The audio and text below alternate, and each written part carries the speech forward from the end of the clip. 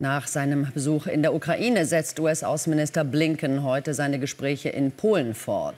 Hier sehen wir ihn bei der Abreise aus Kiew.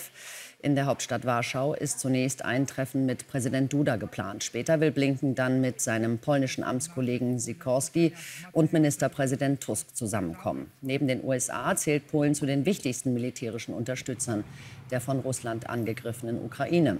Das EU- und NATO-Land spielt zudem eine wichtige Rolle als logistische Drehscheibe für die Hilfe des Westens für Kiew.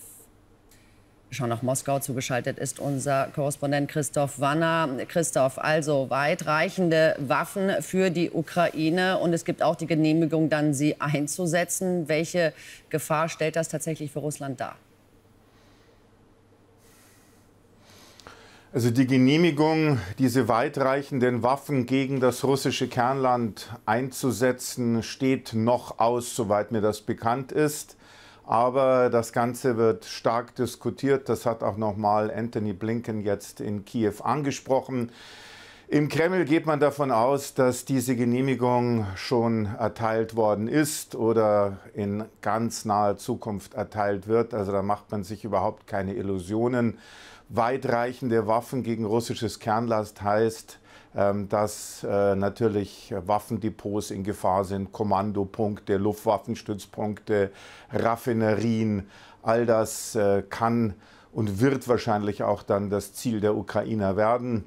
Der Radius dieser Waffen, um die es geht, ist sehr unterschiedlich. Äh, die Rede ist da von Attackams, amerikanischen ballistischen Kurzstreckenraketen mit einer Reichweite von ca. 300 Kilometern. Dann Marschflugkörper, britisch-französisch Storm Shadow, Reichweite bis zu 550 Kilometer. Und dann gibt es auch noch die Luftbodenraketen vom Typ Chasm. Da gibt es unterschiedliche Modifikationen, 300 bis 900 Kilometer Reichweite. Die werden abgeschossen von den F-16.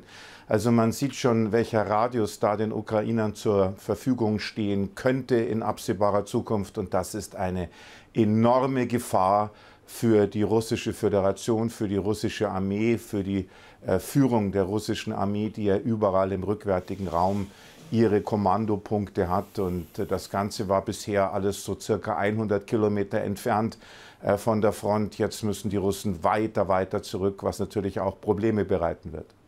Hm, ganz neue Lage also. Dann, ähm, was glaubst du, wie wird Russland, wie wird Moskau reagieren? Da gibt es noch keine äh, Position, keine definitive Position, vor allem nichts von Wladimir Putin.